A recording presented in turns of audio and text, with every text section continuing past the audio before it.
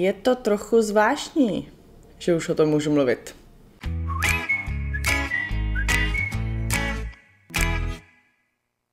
Po takové menší povánoční pauze mám tady pro vás další video, eh, o které jste si hodně psali, hodně jste se mě na něj ptali, jestli budu točit taková videa. A já jsem se rozhodla, že vás to zajímá a já si to chci natočit stejně i pro sebe na památku, Uh, takže jsem se rozhodla, že ano, že ho natočím a je to video na téma můj první trimestr, těhotenský. Pokud jste viděli můj poslední vánoční vlog, tak uh, jsme tam s Tomem oznámili nejen vám, ale i naší rodině, uh, že budeme mít miminko. Stejně tak jsme to oznámili i přátelům ve stejný den. Uh, nikdo to vlastně nevěděl dřív, kromě Toma, mě, doktora a tak. A já jsem přemýšlela vlastně celý ten první trimestr, kdy jsme to tajili, kdy jsme to fakt jako schovávali si jenom pro sebe, tak jsem přemýšlela, jestli mám potom točit vlastně nějaký jako těhotenský videa nebo podobný témata. A říkala jsem si, že počkám na to, jaká bude vlastně od vás odezva, jestli by byl o to vůbec zájem a podobně. Strašně mě překvapilo, po tom, co jsme dali fotku na Instagram, že čekáme miminko, po tom, co jsme vydali ten vánoční vlog, tak mi chodilo strašně moc zpráv jestli budu točit právě takový videa a že si to jako přejete a tak. Takže jsem se rozhodla, že ano. Neznamená to, že samozřejmě nebudu točit žádná jiná videa, pořád budou knižní typy, pořád budou videa s Arnem, pořád budou nějaký vlogy, eh, když bude něco zajímavého. A do toho to vlastně pronu i těmito videi, takže je to takový win-win pro všecky. Abych to neprodlužovala, eh, to, že čekáme miminko, jsme zjistili na začátku října, nejprve jsem to zjistila já. Pak uh, další, kdo to věděl, tak byl Aaron, protože byl se mnou jako jediný doma. A jelikož Tom nebyl doma, byl celý týden pryč, ale naštěstí jsem měl vrátit ten den, protože jako, to bych nevydržela díl, tohle si jako tajit jenom pro sebe. Takže naštěstí přijel ten den, takže jsem to musela tajit jenom zhruba 6 hodin. Uh, dostávám se tímto k jednomu z hlavních dotazů, který chodili a to je, uh, jak reagoval Tom, jak jsem mu to oznámila, jestli měl radost a podobně, na to jste se ptali hodně. Takže jsem mu to oznámila, když přijel, uh, vlastně po tom týdenním pracovním výletu tak jsem mu to oznámila, říkala jsem si, že vlastně nevím, jak mu to mám říct, takže jsem řekla, ať zavře oči, že pro něj mám dárek, jo.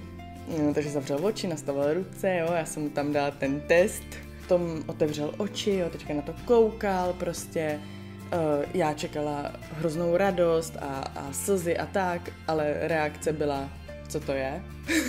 Asi tak po třech vteřinách mu došlo, co to je a dostavily se veškeré ty emoce, které jsem jako očekávala a v kterých jsem doufala. Takže jsme se radovali a podobně.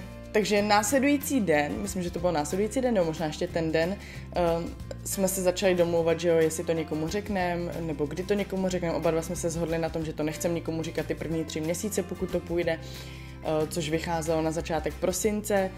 Uh, tak jsme si řekli, že to vydržíme až na štědrý večer, když už to je jako prosinec a že jim to dáme jako dárek pod stromeček, že to nějak hezky vymyslíme. Uh, Tomovi eh, se líbil nápad s tím, že by to chtěl jako nějak kouzelnicky, to znamená uh, takový to jako, že cože, a vy jste nám to celou dobu napovídali a my jsme o tom nevěděli a tak. Uh, takže mě napadlo, že budeme ukazovat na fotkách trojku, protože jako budeme tři, že už to jako víme celou dobu, takže my jsme vždycky na rodinné fotce ukazovali trojku, pak jsme jim z toho udělali album a tak. S postupem času se to vlastně začalo stávat čím dál více reálnějším, vlastně s každým ultrazvukem. Přestože mi to třeba přišlo jako nekonečná doba, když jsem zavolala uh, k doktorovi, řekla jsem prostě, jsem v tomhle v tomhle týdnu, chci se objednat a ona, jo, tak to ještě by jako nešlo nic moc vidět, tak se tak přijďte za 14 dní. A já za 14 dní, já nevydržím 14 dní, prostě přišlo mi to jako nejdelší doba na světě. Uh, je to neuvěřitelný, jak rychle se ten malý tvor vyvíjí je to, jako pro mě je to furt nepochopitelný, je to strašný zázrak, beru to jako hrozný dar, že uh, se nám to s Tomem povedlo, že máme to štěstí, že máme, uh, nebo zatím nemáme, ale že jako budeme mít vlastní miminko, když se všechno samozřejmě podaří. Jinak co se týče mě a nějakých příznaků, tak uh, non-stop kocovina, bez alkoholu teda což je ta horší část, protože většinou, když máte kocovinu jako po alkoholu, tak si můžete říkat, Ježíš že já jsem pila, už nikdy nebudu pít a podobně. Že teďka si to říkat nemůžete, protože vlastně jste ani nepili, vy jste vlastně nic neudělal, vy jste neudělal nic špatného. A stejně máte třeba tři týdny v kuse kocovinu. Takže to bylo strašný období, protože já jsem se zbudila, Jenom jsem se převalila třeba na druhý bok a už se mi zvedal žaludek, už mě bylo špatně, už mě bylo na zvracení, už mě byla hlava, už jsem byla unavená, všechno, všechno špatně.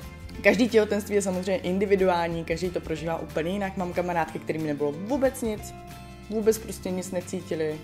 Pak mám kamarádky, kterým bylo špatně celých 9 měsíců, pak mám kamarádky, kterým bylo špatně první 3 měsíce, takže to je hrozně individuální. Takže ze začátku mě bylo jenom na zvracení, pak už jsem i zvracela, což jsem si jako říkala, super, třeba se mi uleví, ne, neuleví. Neřekla bych, že mám chutě nějaký jako na jídlo, že bych, nevím, měla najednou hroznou chuť na sladký, nebo že bych najednou prostě si dávala okurky se šlehačkou nebo něco, tak to jako ne. Jím si myslím furt stejný jídla, to jako se nějak nezměnilo, ale jsem citlivější na pachy.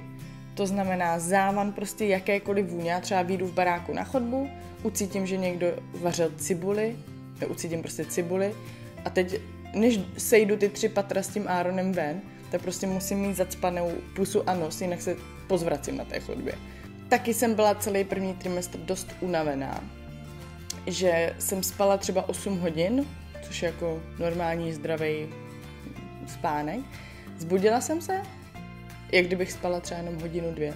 Úplně rozbitá, že bych jako potřebovala ještě 8 hodin spánku. Takže to je docela šílený.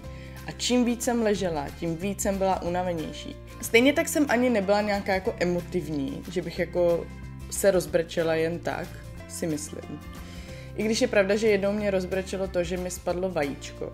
Ale samozřejmě, jak jsem říkala, každý to prožívá jinak a když jste unavený, máte si jít lehnout prostě, protože samozřejmě ve vás roste úplně nový člověk a ten tam neroste jen tak jako z ničeho nic. Vy, vaše tělo, do něho dáváte veškerou energii a všechno vlastně, že jo, co sníte a tak a všechny ty živiny vám bere, takže proto jste i unavený a všechny ty hormony do toho, jo, takže je to, jak kdybyste byli znova v pubertě, najednou prostě, co se to děje, jo.